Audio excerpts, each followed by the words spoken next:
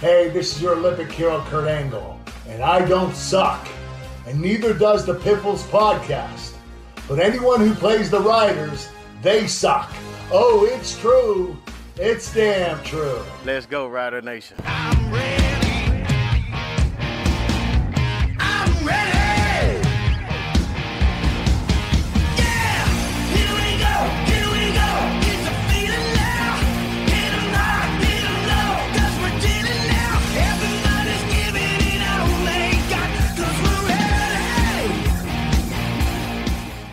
Welcome into the Piffles Podcast, your Saskatchewan Roughriders fan podcast, episode 248. I'm excited for Grey Cup, you guys. How are you guys feeling this week? serious case of FOMO right now. Yeah. Serious Uh, case. gr- Great Grey Cup. What what is this thing you speak of? Um, we'll see it eventually again, right? Uh, Right? all, all I all I know is I'm ABW. Screw ABC. I'm ABW. Anyone but Winnipeg. Yeah. I think absolutely. everybody outside of Winnipeg is ABW. Well, yeah, you see, if you're watching on uh, YouTube or SaskTel Max TV on demand, I got my Montreal Alouettes hat on. Uh, they got my full support. I want to see Cody Mustache Fajardo r- win that Grey Cup. um, I'm going to talk about his mustache later on because I absolutely love it. Um, I must ask a few questions. we're already going that route. Those pu- Steve is already. This might be a record. Like 30 seconds in, and Steve is already face palming. This is great. Oh, Off to a great God. start here. I should Well, be in got- Hamilton right now. This sucks. You got Alex, Steven, Greg here. You can give us a follow on Twitter. I'm at or X, sorry, at real Alex D. You can find me at Safamod. And as always, I do not need nor want your pity, fellows at Greg on Sports. Follow the Piffles account at Piffles Pod. We're on Facebook, facebook.com slash Piffles Podcast. Okay, we got so much to do. Let's get to it right away here. Piffles Podcast, of course, brought to you by our great friends at Dairy Queen on Elphinstone Street and Sask Drive in Regina. Time for the opening kickoff.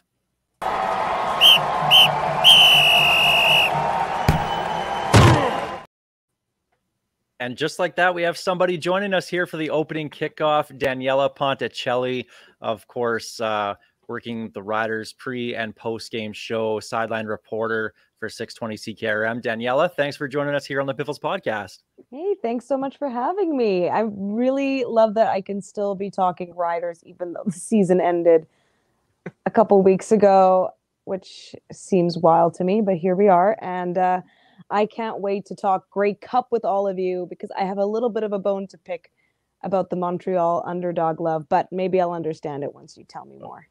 Okay, well, we'll get into that. Well, but we brought you on here. We're going to start talking. We, we are going to talk Riders because there is some Rider news. Yep. There's some good and some bad. Absolutely. We'll get Mhm. into that. We'll talk uh, about the the East and West finals, and uh, I think we have. Uh, I think everybody kind of wants to ask you some questions here, Daniella, about Okay. uh, Sure. You going forward. So we'll get to that in a little bit.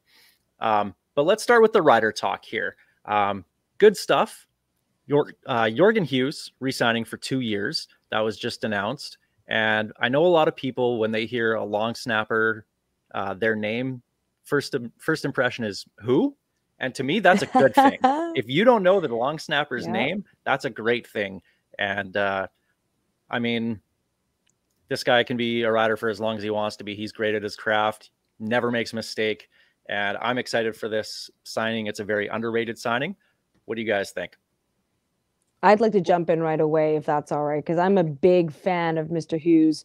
Because not only because he's been so rock steady, he has not missed a single game in the new stadium. And that's incredible. I mean, you expect it from a position like that, you know, that is likely that you could do that. However, he has done it, right? Not everyone has. And so he's the longest serving member right now of the Saskatchewan Roughriders, and it's great to see that he's added on two more years. All round good guy, has great chemistry on special teams with the kicking unit, and that's kind of what you need when you consider how quickly, uh, you know, the Australian kicker jumped right in, and he was great. He was 100% the game that he played, and he flew in that morning.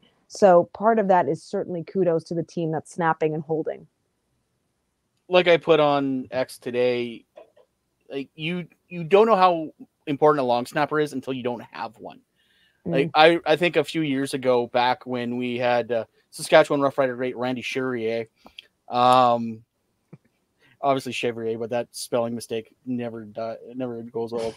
But it's just like we had to sign him on a, like, basically a one day contract because we had no long snapper. Like long snapper is a precise position that does not get enough respect at any level because, like I said, if you don't have one, your your kicking game is completely out the window, punting and uh, field goal.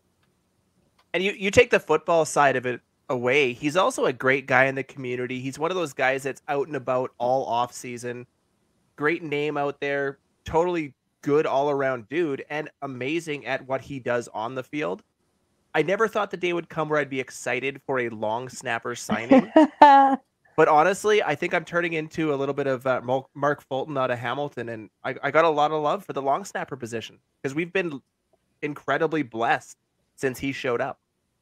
And I will say that there is one thing left on his bingo card that he really wants to get as a rider because he got the fumble recovery. Took him eight years, but he got a fumble recovery. He wants to do the scoop and score. That's what he told me this season. So he's just waiting. I think he's gonna want to hang on until he gets that. Hopefully, he gets it right away. But uh, he'd love to get that. He told me.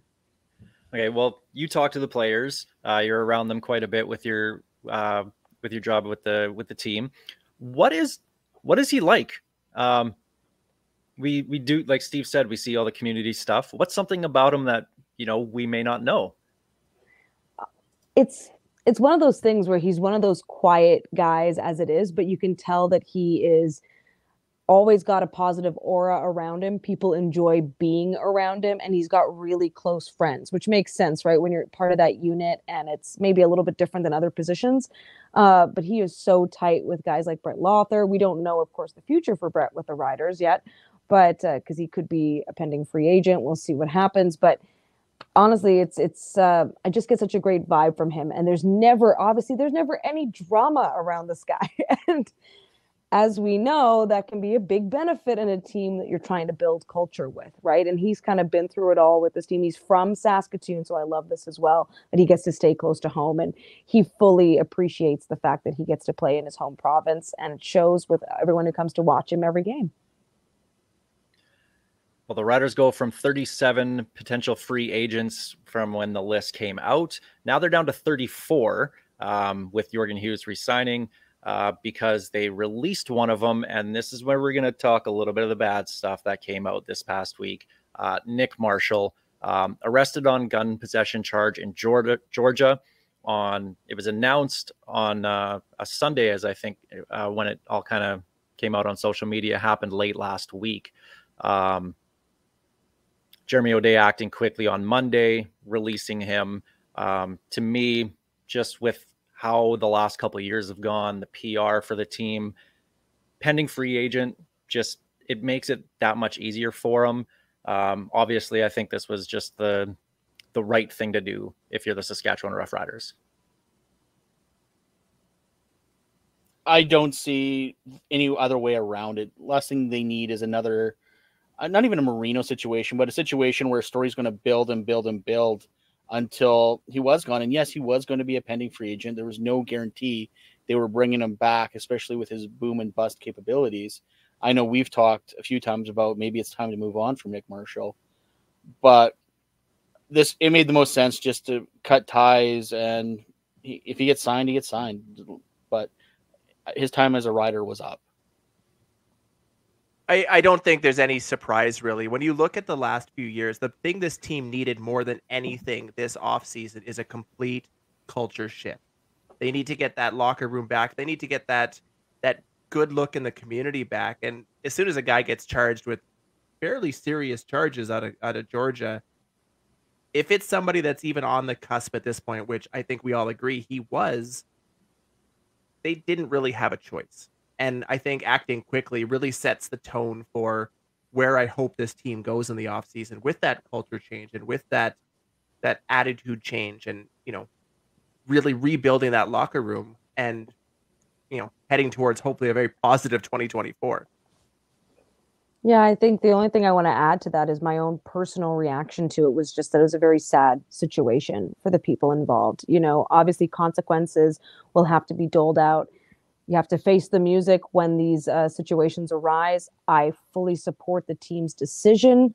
It's not even just a PR thing. This is truly, I, I couldn't imagine the team and the club going about this in any different way, uh, given the, the staff that they have. I can, this decision, it just made sense, but still, it's just a sad, sad situation when you think of what that person's going through and maybe i'm just feeling a little extra sensitive because it's you know two tough years on on the football field. So outside of that no one knows what's going on right? No one knows what's happening in people's lives. So i respect that decisions have to be made. Consequences will certainly be faced.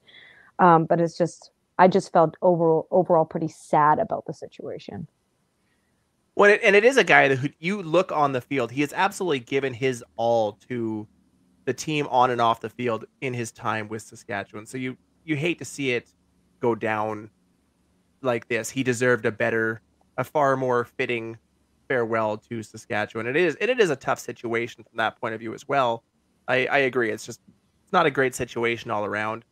You you hope it works out for him. You hope that you know thing, things turn into a positive direction for sure. And that's exactly it. I'm not here to defend anyone's actions by any stretch of the imagination.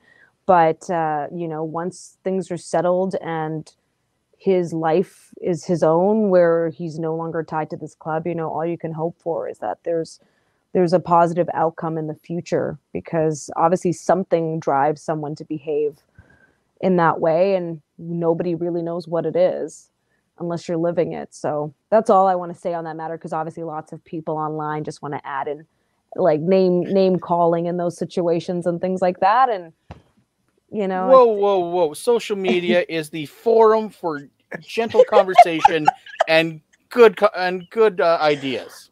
yes of course of course Yes. how could i forget I will not have you slander the great platform known as X. Oh well You'll save that for me. I'll do that later. yeah exactly Yeah. um, okay, well, the East and West finals last week. I think uh, we can all say we were surprised by the outcome in the East final. Um, not necessarily that Montreal won, it's how they won with all the turnovers from Toronto. Nine turnovers, two pick sixes. Uh, Chad Kelly, who's been absolutely fantastic for you know 17 games this season. That was the one game that he had a bad game. And i actually i feel sorry for chad kelly because everybody's absolutely just ripping him right now saying that was Mhm. not a most outstanding performance. That was just brutal and this guy's a bum and blah blah blah. I've seen whole, all these comments and i feel bad for him because the guy just finished his first full season in the cfl as a starter and to do what he did this year was absolutely incredible. We've only seen one other team go 16 and 2 and he had one bad game. And everyone's going to pick on him for it. Look at Vernon Adams.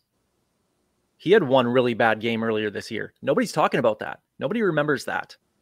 And it's going to be how he bounces back from this next season. And i do Greg remembers everything. Greg keeps receipts on absolutely everything. You're so right, though, Alex. It's all about when you have your bad game. And for Vernon Adams, it was early on in the season against the Argos, but I digress.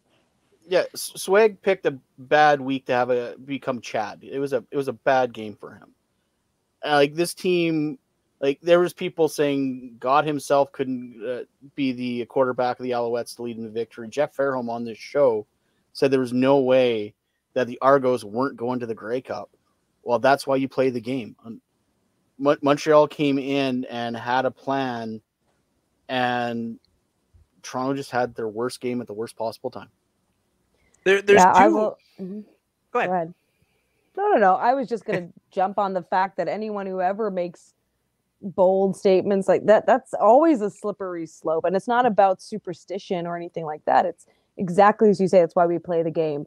I know a few teams in Saskatchewan that have had undefeated regular seasons and they can't make it into, they, they can't get the championship, right? It's just, it's a different obstacle. And when a team has time to prepare and it, it's a- complete even footing, in my opinion, when it comes to playoffs. And Yeah, I mean Montreal. It was like as soon as De Dequoy got that pick six, it was, and that was at the opening on the opening drive, right? Changed the game. It was Changed like- the entire game. Yep, absolutely. It's like the air got sucked out. So it's uh it's heartbreaking, and I agree that like at the very least you would have wanted to see those two teams keep it close and keep it just a battle throughout the entire time. And then there was a little bit of a momentum change, and of course then it wasn't. So it was uh it was hard to see, but Montreal was the better team. And that's the, where the football- frustrating part to me has to be the fact that they finally get this large crowd out in Toronto 26, Yep. 27,000, however many people they had. And I've been one of those who I'm very pro Toronto crowd. If you ever get the chance to go to a game in Toronto, it's loud as hell in there. Very Like loud, the- like the the, acoustics. That's just the way it's- Yeah. If they can ever fill that barn out, it will be the loudest stadium in the CFL. And like Winnipeg, it will be stadium assisted because of the metal Thank bench. you. But Thank you're welcome. I'm not But, uh, wading into that debate. but but they the fans were there and they hopefully saw some positives from that because what they need to build on is that 26,000 and bring a Yeah. bunch of them back. But on the flip side, you have a guy like Chad Kelly who really said and did all the right things, especially in the second half of the season. You know, he signed his 3-year deal. He's pushed his career to the CFL after a lot of talk about going south and to have that happen just is kind of tough for him as from a professional level. You almost feel for the guy because you want to see him have that success because a successful team in Toronto is the best thing for this league right now. It is the thing that will help this league grow into the future again. I mean, Uh, the good thing is they are successful. They're doing exactly. I, I encourage everybody to rewatch Ryan Dinwiddie's introductory coaches conference. Everything that Pinball and Dinwiddie laid out, it's all there, and it's an MLSE as well in terms of what they wanted, right? And we've heard sustained success. We've heard that before. That nice little fancy term. That is actually what they're doing here. So they didn't make it to the Grey Cup.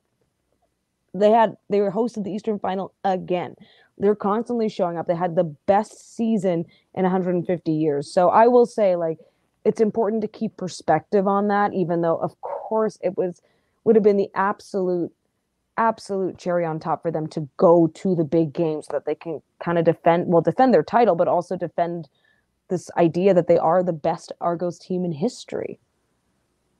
but that's one of the nice one of the both the best things and the worst things about football in the playoffs it's a one game series. Anything could happen. It doesn't matter what your record is at that point. It's who who has the better team that day. And let's let's be honest montreal came in with a plan and they succeeded on what they needed to get done. And as as great as it would have been to see the argos punch winnipeg in the throat again i gotta hope montreal does it this week Uh, well, Montreal and Danielle, you you uh, mentioned uh, Marc Antoine Dequoy and his pick six. Yeah. I just want to say really quick that I he's becoming one of my favorite players in this league. He is an absolute beast on the field. I love watching him play, and maybe one day we can pry him away from Montreal. That'd be great. um, but yeah, I mean, he's he's talented. He showed up every damn week. It's pretty impressive. But on the other side of the ball, it wasn't so much the the Montreal offense. They did enough um, to to get by. Um, I'm happy for Jason Maas and Cody Fajardo. I said before that I think it'd just be great chaos. I'd love to see them get to the Grey Cup and win it. Just see people lose their minds. Um, but I'm actually really excited to or for these guys getting to the Grey Cup. Um, Fajardo especially. Um, because that just means we get to see more of his mustache all week long. We get the Fajardo mustache. And a couple weeks ago, when he first started growing it, I was like, "This is terrible." And now that it's starting to come in, I absolutely love it, and I just want to see more of it. Does it have a nickname yet? Have you named it? I have not. No, Okay. I don't. I don't think that's that's my place to name his mustache. ah, fair, fair, fair, fair. if jason maas had one it would be a mustache at least. Oh, that's good. What about just the corn dog? Like it's kind of sitting like one a little bit, no? Listen, I think it's great. He's found his own identity. He's found his own groove, and I had a I had a good feeling about him getting out of Saskatchewan. Not that I imagined he would go to the Grey Cup. That was, but I figured he would have some sort of um coming into his own situation just because I don't he wasn't comfortable here. Obviously, at the end of everything, that's the most hot take you'll hear. He wasn't comfortable, but it's true he wasn't. You could tell there was this discomfort of where he was at, and sometimes all it takes is a shift in environment, a shift in where you are, and it's a healthy change for him. He still got sacked like crazy this season. Um, and even in that game, like I think it's wild that he got sacked seven times. It didn't matter because, of course, the turnovers were so heavily against Toronto. But yeah, it's pretty amazing. Like he's a tough dude. He takes his lumps. He'll take his time, and he's he's shown that he can win games. And that's all you have to do, especially once you get to the playoffs, right? We just really have to hope he can do that one thing that has haunted him through most of his career, and that is beat Winnipeg in a big game. Because I think everybody nationwide, with the exception of Winnipeg, is on the Montreal bandwagon. There's not a lot of hate for the Alouettes fan base. Oh, what, what, what? No. Why is there a giant forehead? Like that's not that's that's a, like a five head in the picture right now. if you say apparently if you say the Alouettes three times, uh, an Argos fan will appear. That's what'll happen. I'll take You my chance to with Bloody hi. Mary. Is he intercepting your interview, or would that be an Alouettes thing to do? Oh, Sorry, Adam. I was cheering for the the Argos all the way. I'm A lot of talk for a guy who's not going to Grey Cup and can get away with saying that right now. just, Just right? throwing bombs basement. from Regina to Toronto. I can Um, get away with it from here. yeah, Ah, um, all right. the A little bit the of an change, the inside change of scenery the change of scenery for Cody Fajardo obviously was was right for both parties at the time and it still is obviously and to see him getting that next step in his career is is great. Um and Jason Maas as well too uh has a ring as a as a player. Would be kind of cool to see him get one as a coach as well uh going up against Mike O'Shea uh who he has enough rings he doesn't need any more. So yeah we're we're all on now, the uh would you feel that way if it was the Riders? no of course was- not Of course not. I love it. Okay, Do, you- do you- now do you know what show you're on? Just- Like, Yeah. as long as we could just be very, very clear. Oh, yeah. about that. Okay. Winnipeg right now, and Greg, you're gonna hate this uh, because you're a New England Patriots fan. They're the New England Patriots of the CFL, and people hate them because they ain't them. Um, and the, and it's the success that they're having. Everybody wants that success. Everybody wants their team to be hated by every other fan base because they're winning so damn much. I wish that happened here. Look, well, I mean, it kind of did in from 07 to 13, where everybody, Yeah. I mean, everybody still piles on the Riders whenever they get a chance to. Um, but people really, really hated the team then. And but they really, were they were getting the Grey Cups. Between 89 and 07, though, we were the lovable losers. I hated that. We were everyone's favorite, second favorite team. Uh, because yeah. oh the riders they're trying hard they're doing nine and nine and they're they, they might win a playoff game i hate Yeah. that no like hate us or just leave us alone like i'm done with it All right. Okay. That's that's that's some good perspective. Um, but the Bombers, um, I mean, they beat the Lions in the in the West final. It was an 11 point game, but that game really wasn't that close. BC, outside of a hail mary at the end of the first half, um, absolutely dominated that game. And their their ground game got going. Brady Oliveira or like dominated the first quarter.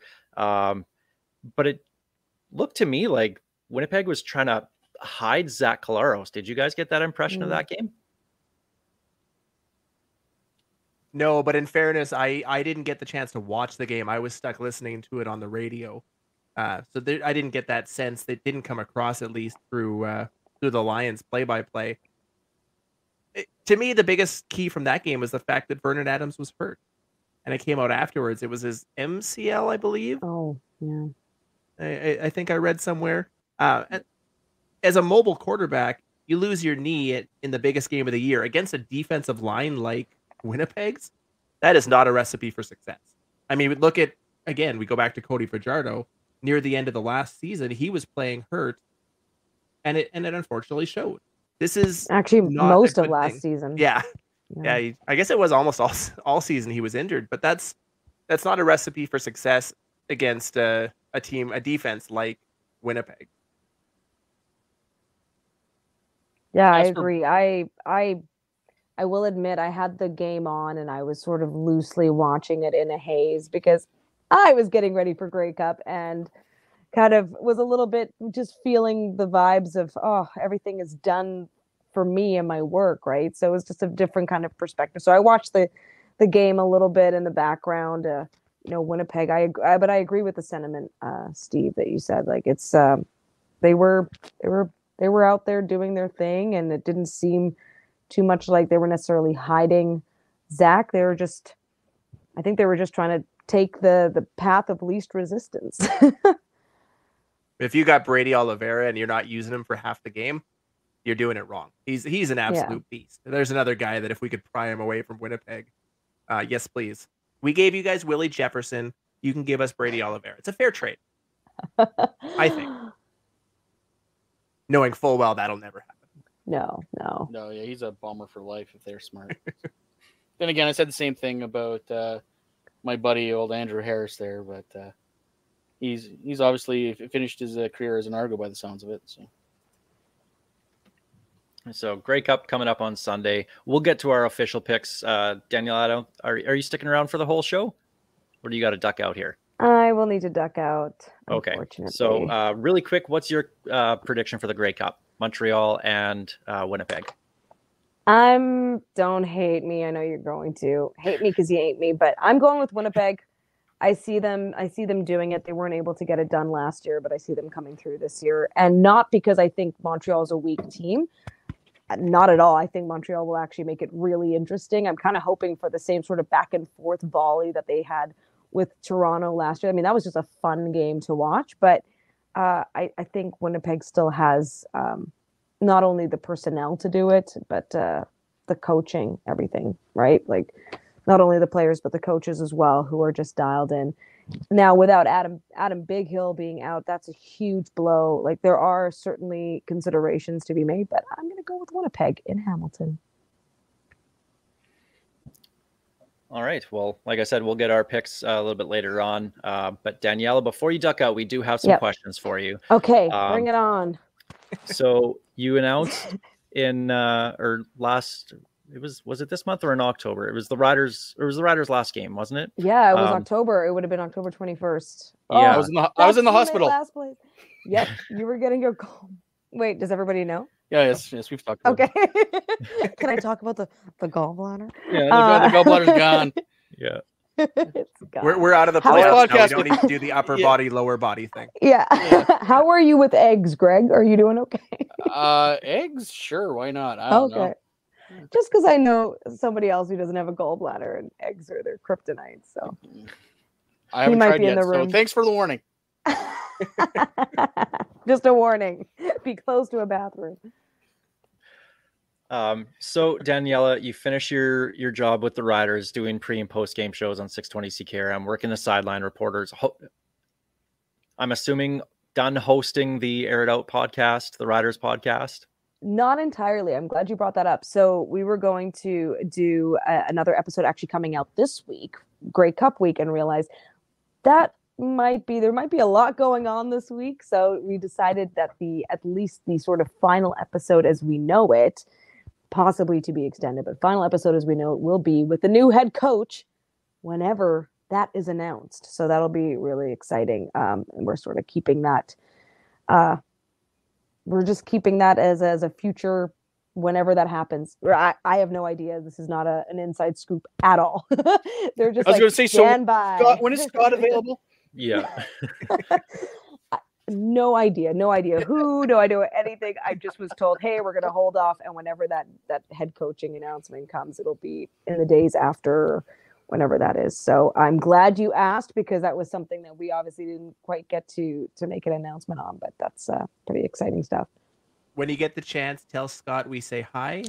Stop And, uh, it. to- St- I'm going to get in trouble here. I am not spreading any rumors. I'm just telling you that Air It Out, a Saskatchewan Rough Rider podcast. It has 11 CFL great News. Danielle episodes. Ponticelli confirms Scott Milanovich head coach. Yep. She has said nothing. Nothing. Zip. I shouldn't have Um, even said head coach with a new member of the coaching Yeah. staff. I don't know who. Don't know who. Don't know gender. Don't know age. Could be a baby. I have no idea. We'll see. It, it, it's an idea. It, it might not even be a person. It's an idea. We're Yeah. all the Could be a dog. I've put Yeah. Maggie's name forward for consideration. So you oh, just Maggie's never got know. my support. Absolutely. If if you're if you're a player and you don't follow behind a dog, you don't belong on this team. But can a I'm dog so clap? here. Can a dog clap? I can we'll literally run through the wall for that dog. Um, Oh my so- gosh. Off the rails. so You, you obviously haven't listened to us before. Um, but Danielle, over the last couple of years, working for the team, doing the pre and post game shows, listening to hundreds of fans calling in, especially over the last couple of years with how frustrated fans have been. yeah. What's your overall take on the Riders the last couple of seasons? Just with starting out pretty good and then just two back to back years of seven straight losses and just it just all just falling apart. Oh, that's a big question to ask. um, okay, I'm going to try to maybe do this through the lens of the fans because the fans really tell the arc of the season, right? There's always there's always a little base layer of optimism and then it just sort of starts to slowly run out. Actually, sometimes not very slowly. Sometimes like week 2 or 3 that optimism starts to run dry, but the biggest thing is there's always this overwhelming love for the team and and I get that sense across the board. I'm I'm not going to speak ill of the club because I've only had positive experiences behind the scenes. I'll just lay that all out there. It's been nothing but positive. It's been amazing. But when there are losses, it hurts everybody. Every it's felt by everybody. And when those start to stretch and stretch and stretch, it just becomes a question of, yeah, what are we doing wrong? What is happening? And clearly, other teams were improving while the riders were regressing. And at the end of the day, you know, you can blame whoever you want to blame, but it's it's a multitude of, of factors that that played into that. So I think overall, it's a matter of us getting on track, but hopefully, as a fan base, also sort of wrapping that all in as much optimism and positivity. I know that sounds might sound hokey to you, but there is such a thing as like if all you're putting out there is bad energy, that's what you're going to get back. So maybe it's time to like take a little piece of okay, whoever is the next person to step into that role, whoever is that that next thing, let's see what we can do. And I know uh, there's going to be rider fans that say, "Hey, I'm always positive." That's true. There are some that are genuinely always like up here, like the team's going to win. There were still people telling me when it was three games left in the season, nope, they're gonna er, they're gonna win out for the rest of the season. And I'm like, I'd love for that to be true. I don't want that not to be true. But you also have to be a bit of a realist sometimes. So I'm I didn't quite answer your question, but I think overall there's certainly something to be said about the fact that once the team was getting figured out, there was no way they could never quite raise the bar above that. So ho- hopefully the changes that are coming this upcoming season will will will deal with that. And of course, the biggest thing is on the sideline. You could always see when the the energy sort of went out the window, and that was super sad, right? Like that wasn't that was no fun to kind of see that. And then I felt like October 21st really could have gone the Riders' way. I really do believe that there was there was an energy and a vibrancy to the fact it was the final game of the season at home, a lot on the line, and then the Argos took it away. But everything comes full circle because I also think about the fact. Sorry, I'm going all over the place here. I also think about the fact that uh, the Argos clinched uh, the number one in the East over Montreal in Week 15. So, and then Montreal's like, oh, whatever, right? Because at the end of the day, it's it's what happens in the playoffs. Hopefully, getting to the playoffs. Now, you mentioned positivity. I'm really glad you brought that up. As somebody who uh, spends a lot of Friday, Saturday nights on the road, I listen to a lot of the pre and or the a lot of the post game show, and I was really impressed with your ability, especially late in the season, somehow managing to keep things on the post game show relatively positive. I mean, we're in the midst of our second consecutive seven game losing streak to end the season, yet We didn't know that at actually- the time.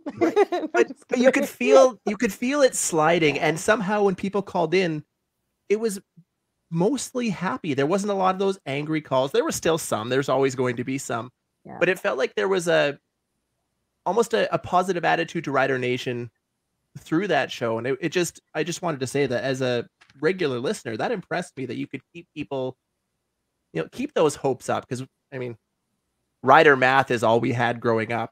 That you need those three wins plus these losses, and Oh, I somebody has to trip over a crack to win. That that's what we grew up on. That's hard, And- right? Yeah, Yeah. it is. no, I And to keep that was was something else. yeah. How do you Well, do that? Thank you for saying that. I don't know. I think it was just overall that, you know, Don, Wes, and I, we all enjoyed being there. We never once, you know, went into that show being like, oh, we have to do this. bleh." Like, we loved being there. And so it was just a matter of like, okay, we're all in this together. It was the greatest debrief of all time. And I also find that a lot of um, callers sort of realized like hey i can i can vent i can be upset. Like we would have some callers just straight up vent but there's also going to be you know whether it's one of one of the co-hosts sort of challenging or asking like a different viewpoint like what do you think of this? And i it's just kind of the way that things naturally evolved. And i do think that when you come from that place of of positivity and just gratitude that we all get to hang out and talk football when there's so many other things going on in our world not to like bring all of that into it but that is always a really humbling part of it right? It's like yes let's all be a little bit sad and upset that our team is not doing well while also remembering like this can be fun and we can we can talk about things. Um, one thing i will say and, and i really respect this from our, our listeners is that a lot of them um, there's there's there were no personal attacks on coaches and players and, and that was something that we were really mindful of. We just wanted to make sure it was about the players or sorry about about the game about the team you can critique players. There's a big difference between critiquing a player and critiquing what's happening versus as i was talking sort of about the nick marshall situation you know versus just name calling or or, or being really personal about it. And so big kudos to, to the fans who called in. And maybe that turns some people away but the biggest thing is that it's the rider nation is such a vast vast vast community and i love that we had callers from all over the world and then the people who did call in regularly kind of knew you know like they knew what they would want to say knew what they wanted to share and it was always appreciated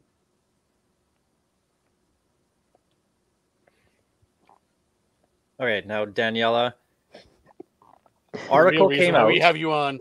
Yeah, while we have you on, article came out. Paul Woods, uh, out Oh. in Toronto, yeah uh, did an article on you and Adam. Um, not to regurgitate the entire story, but how tough was it to open up to someone? Uh, to I I mean, Paul's done some great stuff, especially uh, in the amazing. CFL as well writer. too. Great, um, a very private thing. How difficult was it to open up to someone that you may not know all that well when it is a private thing about you, you know, meeting Adam and then now moving to Toronto? yeah and and his relationship prior and on all of that that that kind of fills out the story um it took us I- i posted about it on facebook that it took us a while to come to that consensus not because i didn't trust paul or didn't think he'd be amazing um but just because i'm not usually the person being interviewed and so it was just a very yeah very vulnerable thing and then we had a conversation with paul separate to an, an actual conversation because Paul was the one who came to us and asked like about it. And so we said, okay, like what do we have to lose, right? Like when you think about it, it's you know someone's interested in telling our story, which to us is just our lives, and um, and so we went for it. And I'm like, okay, I mean, Paul knows what he's doing.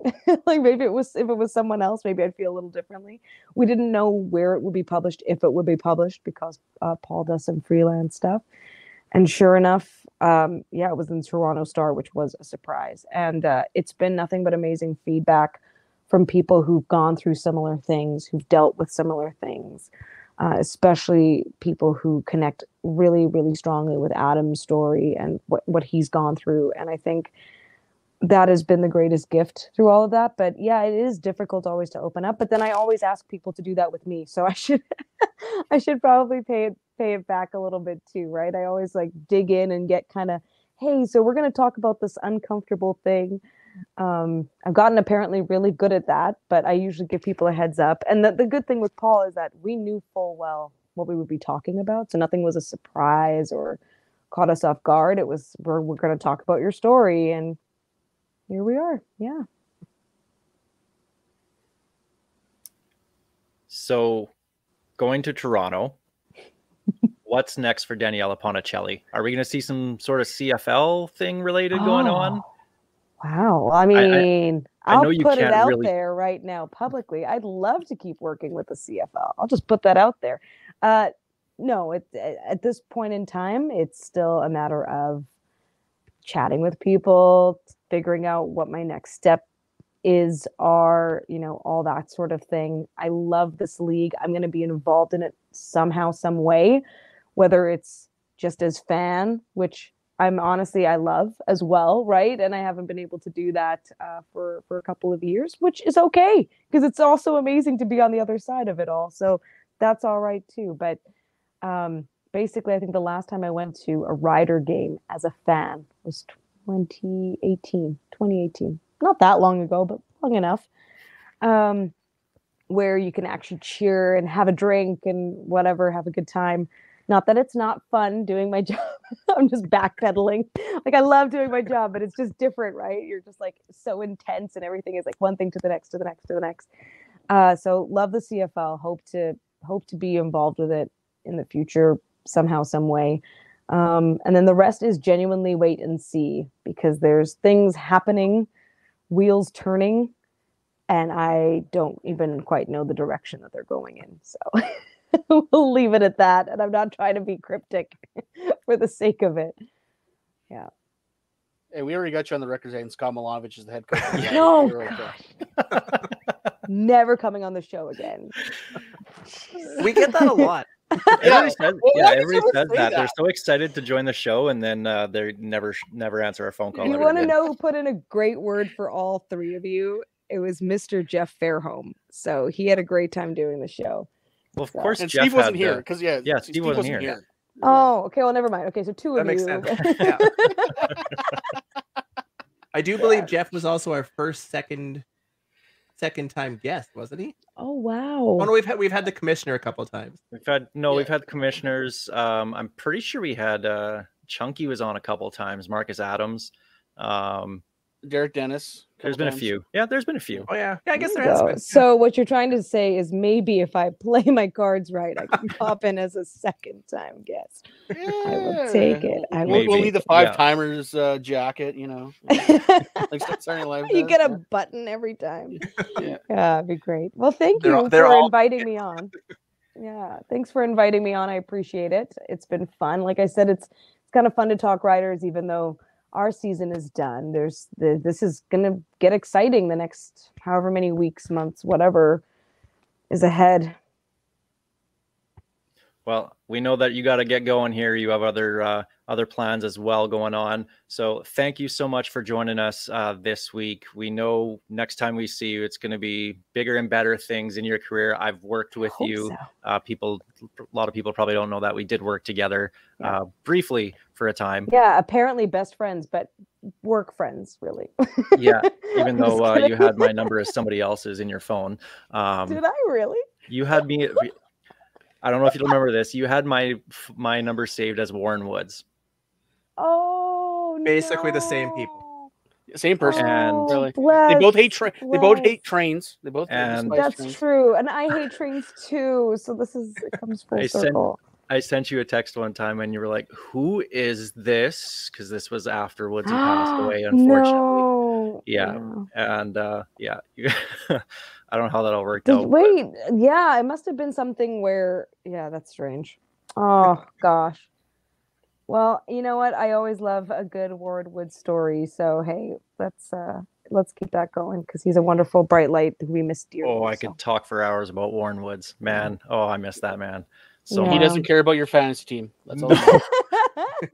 That's why every single Monday when uh, he'd show up uh, to, to the green zone, and be like, Woodsy, you see how many yards this guy got? And he's like, I don't care. yeah, don't care. Loved, loved Lady Gaga and loved Yes. like there's so many great things about him. Yeah. It was wonderful. Um, well, Daniella, thanks for joining us. Uh, best of luck in the future going forward. Uh, Amy says hello and best of luck Oh. as well. Thanks. And tell Penny and Winston I say hi. I think they're sleeping right now. Okay. Thanks so much. I appreciate this. All right. Take care, Danielle.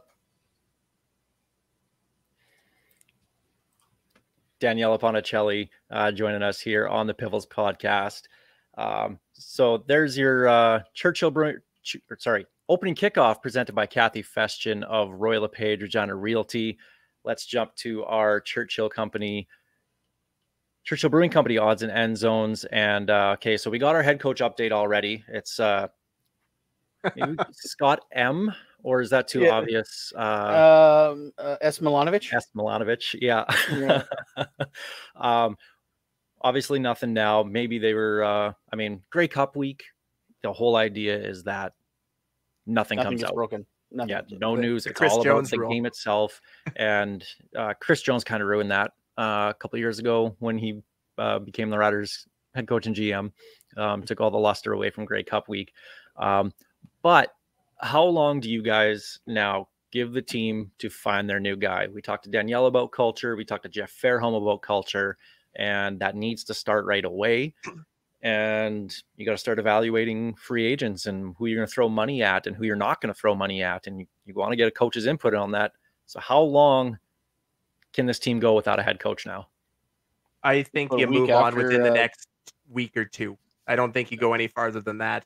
Uh, you got to get in so you can get those bonus. Any any money left over on the salary cap, you need to spend on bonuses, and you want that coach's input.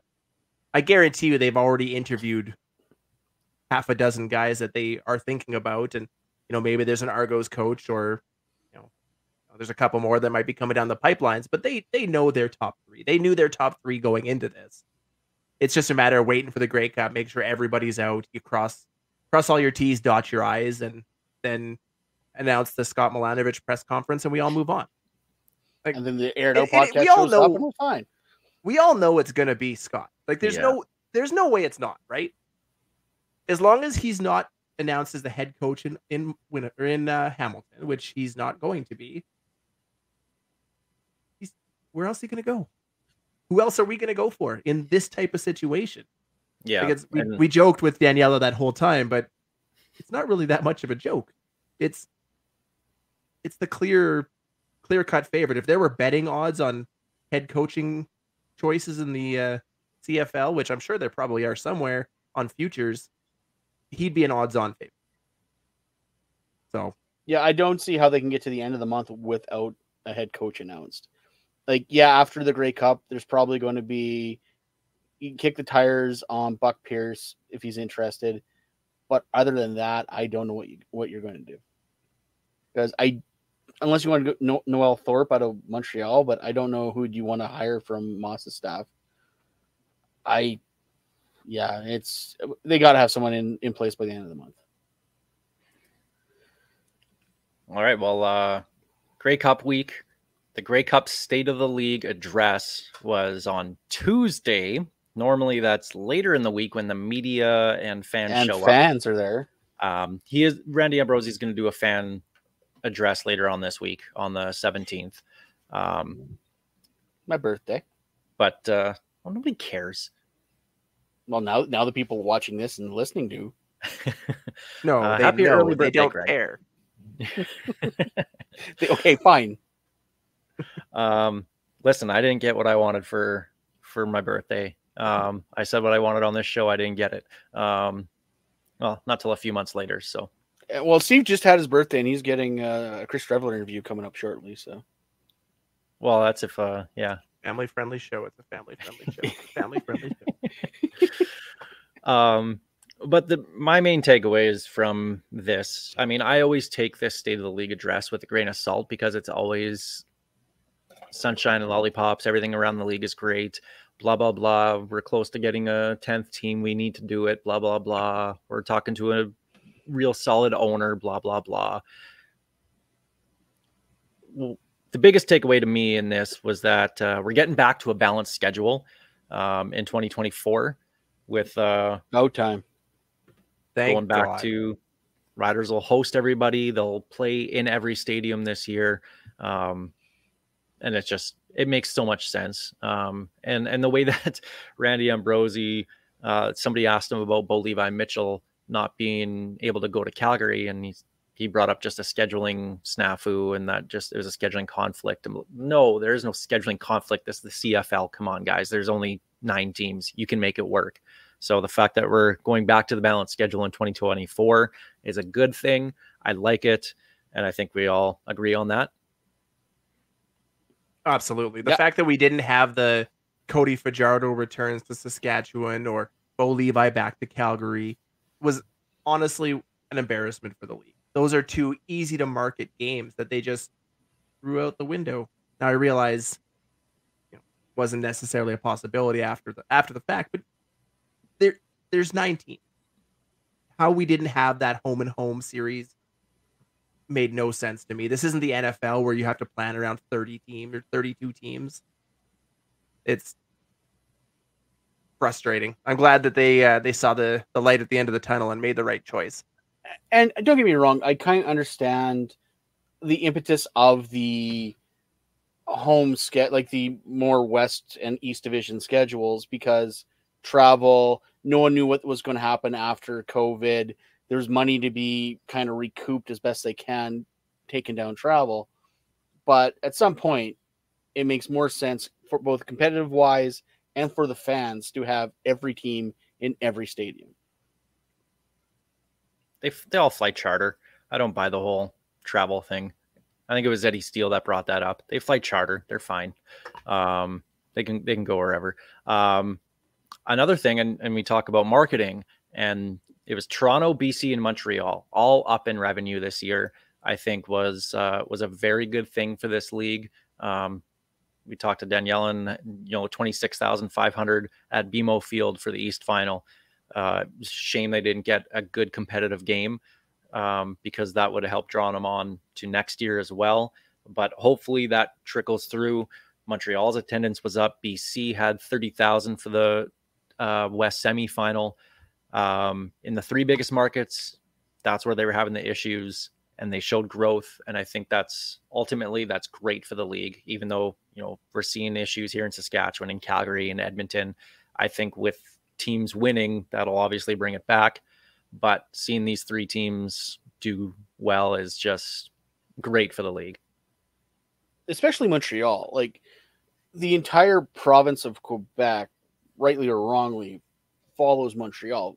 Montreal with those bad years, attendance was down, RDS viewership was down. Montreal with a competitive team is great for the league, and you can tell by the uh, ratings this week in the Alouettes Argos game. Well, and that's just it. And you look at the we we talked about it before that huge increase in attendance in Toronto, and it was a massive increase through the year, leading up to a near sellout at the East Final. Only speaks to good things for this league. This league will only go as far as a strong fan base in Toronto will take them. That's where the money is. People people at TSN, they don't care how many people in Saskatchewan watch football games. They want to attract Toronto, Montreal, BC. You get those three markets and you you're looking at 10 times the the viewership numbers that Saskatchewan could bring in. It it's a no-brainer. It's it all comes down to money. You get those three fan bases to continue to grow and this league will grow right along with them. And I'm all for it. And Saturday playoff games sound like they're here to stay. Sounds like it's locked in. I like it. I love the Saturday games. I know I don't Steve, hate you're it. Kind of rolling your eyes. I don't want to see the Grey Cup on sun on Saturday, but I actually don't mind the Saturday playoff, East Final, East Semi, whatever. But taking away that extra day at Grey Cup would be a huge mistake. I hope the league never does it. No, that like I should clarify that doesn't include the Yeah. the Grey Cup game itself. It's just the the semifinals and the finals will be on Saturdays. They, if they keep My- it that way, that's an okay choice in my books. It's a party night. You get you're not competing with the NFL. You're just you're you're it. You have college football, but that's that's it. I'm all for it. I guess. Well, my only problem is, and you're I when you say college football, you obviously mean NCAA from a junior slash U sports level. You're wiping out the playoffs. Fortunately, most uh, um, PFC finals or playoff games are on Sundays, Uh, they moved back to Sundays, but all the U Sports playoff games are on Saturdays at the same time as your East and West finals and your semifinals. So unfortunately, it looks like the CFL is kind of stepping on a little guy on this one, but they got to protect their own, I guess. I'd love to see the day where the CFL and U Sports work together again and can market each other, or more the CFL markets U Sports the way they can. Obviously, I don't think you're going to see the Vanier Cup and Grey Cup held. Oh, They Uh, can't in the market same themselves. They can barely market themselves. How can they market the U Sports? Well, it's got to keep Toronto growing. Get that money in there. They'll find a way. But I don't. I don't mind the games on Saturdays. It was different. Um, and junior football, Saskatoon Hilltops, of course, winning their 23rd national title. Greg, you knew I was going to. Um, CJFL final against uh, the West Shore Rebels, beating them 17. I said they would win, but I didn't want Yeah. it. I want to put. I want to say- say that. I said they would win, but I didn't want to see it. So congratulations, uh, Sarge and company with the Toppers, uh, winning their 23rd national title. Maybe, maybe I know people have. I don't know if jokingly said a, said his name out, but Tom Sargeant way. as uh, coach of the no. Riders. I mean, No way. that'll never happen. Ain't but no way. Ain't no way. bring him in for a talk just to see, hey, what what makes you so successful, and then just kind of pick from there and go from there. As many NCAA head coaches moving on to the NFL have proven, there's difference between teach uh, coaching pro players and coaching young men. Yes. And there's a reason why the best NCAA coaches can't make it in the NFL. Yep. Um, That- okay, we were talking that's about what I'm going to say about that. we were talking about revenue. Interestingly enough, after the uh, Randy Ambrosie uh, State of the League address, the CFLPA has their own address. Um, and the one thing that I saw from that was Executive Director Brian Ramsay saying the league still hasn't provided financials to them from the 2022 season, which is required for the new revenue sharing that's in the CBA. So, as sunshine and lollipoppy as the CFL will say that this season was, there's still some stuff behind the scenes going on that isn't so rainbows and puppies and everything. Um, there's still, it's still CFL versus CFLPA. Or, so I don't know. I'm I'm It's- interested to see what comes of this later on. it's always going to be adversarial between the two. One side's not going to trust the other. That's just the way it is. Uh, I'm hoping the CFL. These guys have. Hey, our our CEO is the former CFO. The guy knows how to hide money if he wants to. Like these teams aren't dumb. They're they're going to minimize the amount they're sharing and keep the biggest piece of the pie they can. It's just a matter of why it's taken so long to get the 2022 financials out. And to me, that is shady pool. That's not good to see. All right. Well, Grey Cup week, Grey Cup game itself. As much as I actually really love Grey Cup week when I'm there, more than I enjoy the game usually. Um, Grey Cup week is is just a it's a wild ride. Uh, for anybody that's gone, they know all about it. For if, if you haven't gone, go to a Grey Cup and uh, have a blast because that's exactly what it is. But the game itself, Montreal, Winnipeg, Cody Fajardo versus Zach Collaros. And Bella, 2019 Rider quarterbacks. yeah, Can we Um, stop that?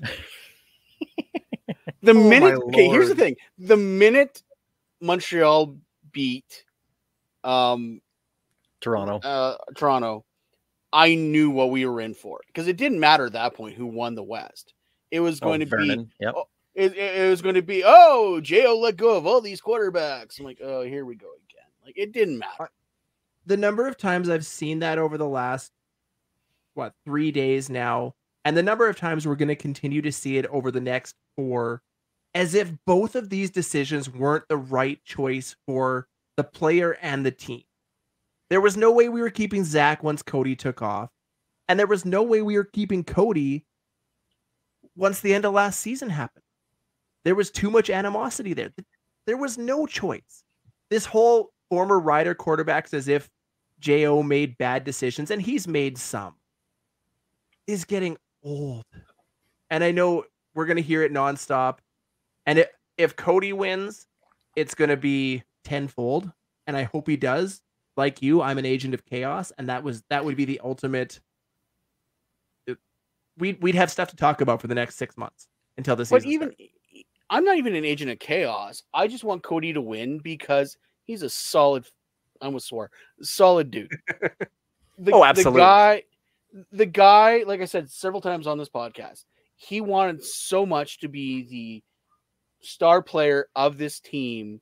He wanted to win a Grey Cup on this team. He wanted to be quarterback one so bad that he he wanted to be loved by this community that he signed up with some rinky dink podcast to do t-shirts for charity and did a lot of good in this community. So I I want Cody to win. oh, absolutely. And and once again, Zach Collaros would not be Winnipeg Blue Bomber if Matt Nichols could actually not get hurt. If Matt Nichols did not get hurt, Zach Collaros is probably still in Argo. I'm just waiting for the day when the Bombers fans boo Zach Collaros during a cancer PSA. It, it was a bullying PSA. I don't know. I, apparently, I got the PSA wrong. Either way, they booed him. I don't care. But it's just, yeah, like it, it's not former Rider quarterback versus former Rider quarterback. Like it's D- despite what every media outlet will tell you. yes. Um, what is your guys' excitement level for this game out of the potential games that we could have had this week? Uh, where's your excitement level for this one? Non-existent. I don't want to see be- Winnipeg win another one. I'd be more excited for VA versus like BC versus uh, Montreal, or even BC versus Toronto. Um, yeah, I'm hoping for Montreal win. If if the Bombers get up early, I might stick around for halftime and then shut it off because I don't want to see Winnipeg win another one. I, I've already seen too many Bombers fans mentioning that damn D word again. And I'm I'm done with the dynasty talk. You lost last year. You got to start fresh. Don't three and four is three and five is not a Yeah. dynasty. Nope, three and five years is not a dynasty. They had You're a really COVID year that- off. You're going to hold that 2020 am. year against them. Anything I can to stop this dynasty talk, I will That's do fair. because you know what? All of these fans forget that they had a 30 year stretch beforehand where they sucked. They were the lovable losers. They were the riders of the 89 to 07. Now they're the buttholes of the CFL fan base because they're just they're they're rubbing it in everybody's face. And I mean, let's not act like Rider Nation wouldn't do the exact same thing. I said this earlier. They're they are the New England Patriots. They're playing the "woe is us" card. Everybody hates us. Well, yeah, because you're winning. But they No, no, no. like, Every, every, taking- everyone hates everyone hates the fans. Everyone hates the fans, but the refs call everything for the Winnipeg Blue Bombers. Oh, they're taking it so personally, and that's exactly what New England Patriots fans did uh, for Hey! 20 years. You still take it personally. Oh, just because we're better than you guys. You Mac were. Jones. Oh, my my pain. Your pain. Oh, do you know any uh, Rider fans that are Buffalo Bills fans right now? Check on them. Check on them. The Oh, PTSD was The real. PTSD would be just bad. Oh my goodness. I'm a Denver Broncos fan. I stayed up and watched that game. I started laughing at the end when the, there was the too many too many men penalty against Buffalo on a Denver missed field goal. Denver kicks the field goal after on the penalty uh, to win the game. And I started laughing and I was like 14 years later, I get it. I really to understand how all the other eight fan bases felt. This is hilarious. This is really and it was to really the day funny. too, wasn't it? It was to the day, No, Was it? no, because the don't Grey Cup was would it, have been or one day apart? 20th. No, No, it was The like Grey Cup No, yeah, was you're it? you're two weeks. Yeah, yeah, like oh no, yeah, yeah, yeah, yeah. yeah. I'm, I'm ahead of schedule. I'm ahead of schedule. You're right. but like uh yeah um so if you know any bills fans that are rider fans as well check on them Oh, because they're not doing reason okay I thought to the day is because they had the replay of it on uh, the day Oh, yeah, before. thanks a lot tsn too like jeez They do that every se- every Grey Cup week. They play the that game was horrid.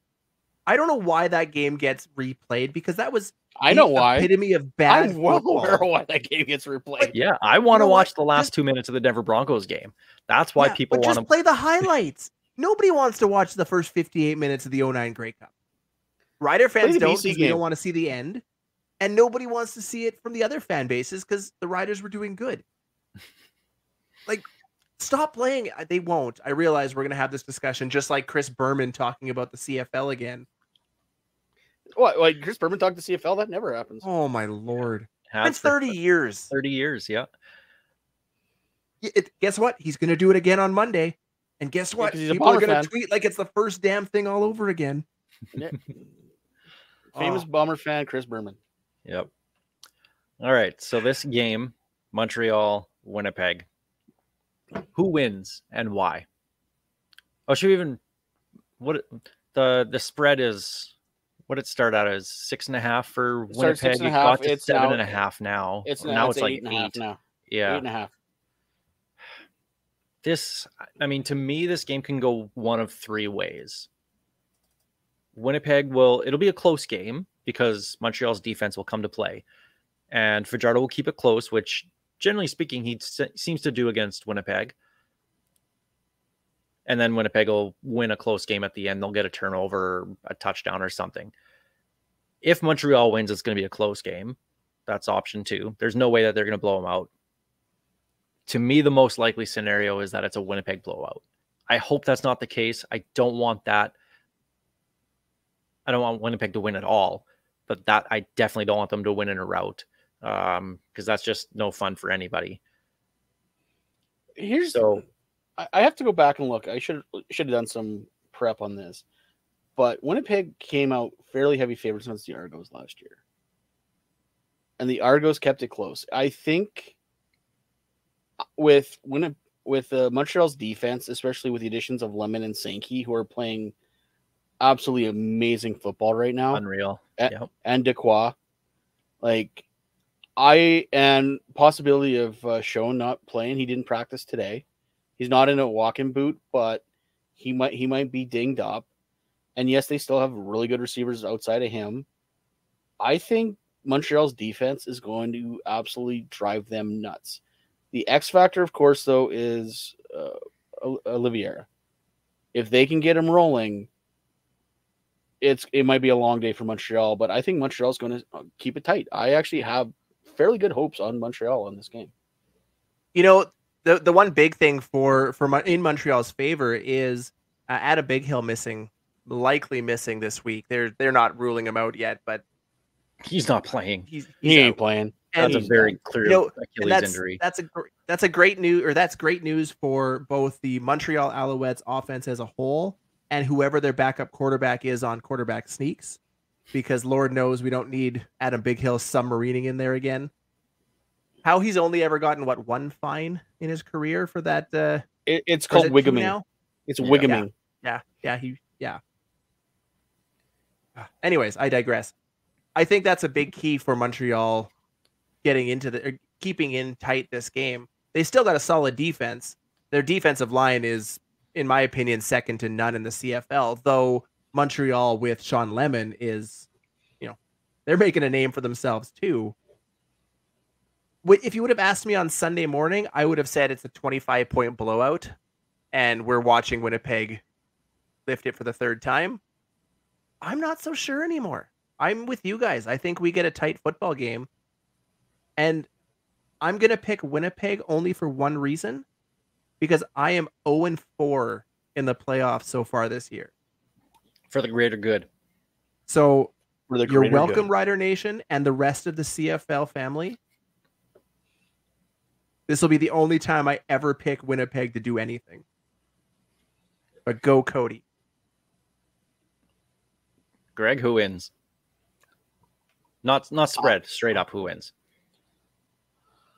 Uh, I, oof.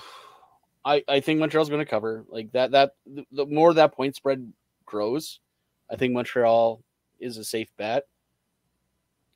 I, I, I believe in Cody Fajardo. I really do. I think he might have his best game as in the CFL, and he's had some. He had some good ones early with the Riders.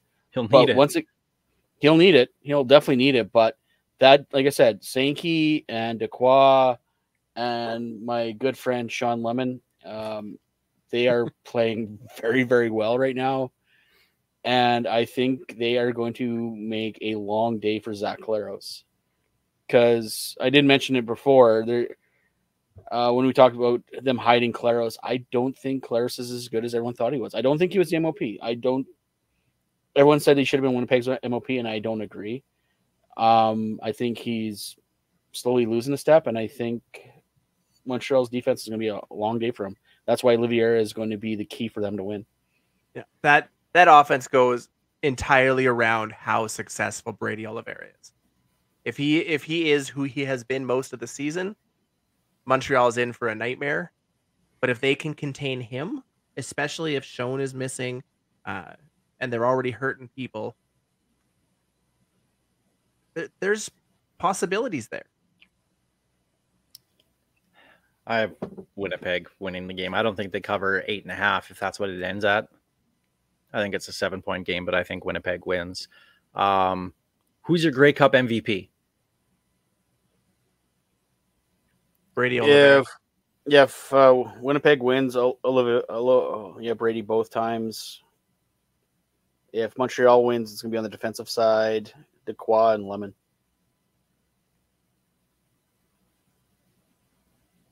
Steve? It's Brady. It's Brady for me on the uh, on the Winnipeg side. There's no question there. Um, I, it's hard to argue with either Dequoy or Lemon. Uh, but I'm going to go and say if if if Montreal wins, sorry, going to be Cody Fajardo and uh. Um, I actually didn't come prepared by picking one for both teams. I just picked one uh, who I think is going to win. So I picked Winnipeg. Um, I'm going with Zach Collaros as MVP of the game. Um, but if Montreal does win, it'll have to be Cody Fajardo. And granted, they they always skew things towards quarterbacks anyway. So, I mean, That's why I try throw. avoiding the quarterback whenever I can. Um, what about most outstanding Canadian? To me, it's a lock for um, on at least for for the Bombers. I know you guys are going to say Brady uh, Oliveira. I'm going to say Nick Dembski. I think he's uh, he's the one for the Bombers. Um, Yeah. On Montreal side, you guys are probably going to go with like and Marc Antoine Dequoy on defense. That's Yeah. my guess anyway. Um, I'm gonna go a little bit off the off the board a little bit and go with uh, Tyson Philpot. I was gonna say Philpot would be my second choice. If it's not Dequoy, I would go with Philpot. Uh, he he had a quiet, like quiet, very good season. So Dequoy ended Mon- or Hamilton's season. He effectively ended early Toronto's season. If Montreal wants to succeed, he's going to have to do it again. He is the key to that defense. Him and Shawn Lemon. That's why when we said Montreal, I said Dequoy. Uh, he was my pick for uh, most outstanding Canadian. And I mean, if you pick Oliveira for most outstanding player, you kind of have to pick him for most outstanding Canadian. Although it'd be very CFL to give somebody else most outstanding Canadian They for sure would. Absolutely. be it'd be kind of kind of neat to see. But Dembski, God, I hope not. That's just, that would just be the icing on the cake of uh, of players we let get away. And plus, Greg would absolutely hate that. I think. a thousand, hey, thousand yard receiver Nick Dembski, Yep. Bo, Bo bloody I time. hope- I just hope it's a really good game because I do not want it to end up how I really think it's going to end up. Uh, so Hey, at least hey, at least we can look forward to halftime. I'm To say, what's for the song that Green Day opens with? What do they open with? Yeah. I think it's "Welcome to Paradise." That's, the a good only song that uh, TSN's been playing during their their promo for it the whole time. So I think they open with that. They'll probably play American Idiot. Um, I'm sure they'll play uh, Brain Wake Me. Up When September Ends to end this end the show for some reason. They might play their new song. Um, and then bell goes off the air. yeah, um, yeah, they might. Yeah, they'll play. They'll play Good Riddance, and then uh, TSN no longer exists. Yeah. That'd be Uh, very, very on brand for for Bell Media. I, I I think actually I, I my, my my outlier to start would be Brains Stew. I think it's a good hard riff to get things going. But yeah, Welcome to Paradise is good too. All I know is I'm excited. I'll actually be home for the entire Grey Cup this year. It's rare with with floor hockey on Sunday. So I get to actually see the halftime show. Just I'm just the afraid- Delightful. I can't believe I'm excited for a halftime show for the CFL in a long time. Like this is like I'm legit like I cannot wait for the halftime show. just play the first 10 songs off Dookie. I'm Yeah. I'm a very happy person then. Just go up right up into she and then there you go. I, I gotta I gotta laugh though. They they put that um image out based on the Dookie album, Yeah. And they legit just put it on top of the Dookie album because you can see the original artist's uh, signature still on the artwork. I'm like, Oh, was uh, it? that's kind of yeah, that's that's kind of a bad thing to do technically, but uh, yeah, it was and, like I was like, I hope they put it on the shirt. I'm like, uh, as a graphic artist, uh, I'm hoping they don't do that because as much as I want one, that's very bad to do. The the real question is: Does Billie Joe Armstrong come out on dog sleds, and who is flipping in an ATV or in a a sled? Why not do both? No, They have to. Billie Joe Armstrong flipping on a sled on a, on a dog sled. Yeah, that's his entrance. Those, those, Yep. th- those dogs are gonna be scared going over that ramp, but it's worth it. Well, should be uh, hopefully should be a good one, and uh, we'll talk about it next week. And uh, look forward to uh, Scott M or S Milanovich uh, being named Riders head coach next week, sometime after the Grey Cup. Hopefully that uh, happens pretty quick. Um, I can't see it lasting very long. So, but that's what we'll be talking about next week on the show. That's going to do it for us this week here on the Piffles podcast. Thanks everybody for joining us here this week uh, Daniella Ponticelli for joining us earlier in the show. Special thanks, of course. Uh, go out to Dairy Queen on Elphinstone Street and Sask Drive in Regina as the Piffles podcast is brought to you by them. Special thanks, of course, to Kathy Festian of Royal LePage Regina Realty and Churchill Brewing Company for their support making this show possible. Thank you, uh, everybody downloading the show, listening, watching on YouTube, watching on SaskTel Max. We saw kind of what the numbers were on SaskTel Why? Max. Blown away uh, You by, guys are by how many people are watching. Um, thank you, thank you very much. We appreciate it. Hope you enjoyed uh, what you see, and we'll have more coming at up. least, in the at least what you listen to. I don't know if they enjoy what they see. Yeah, I got nothing. Steve with his nice head, nice, nice, Yes. nice, nice round head. Steve. Thank you. Thank you. this is Ghost Behind Your Mind by Tyler Gilbert.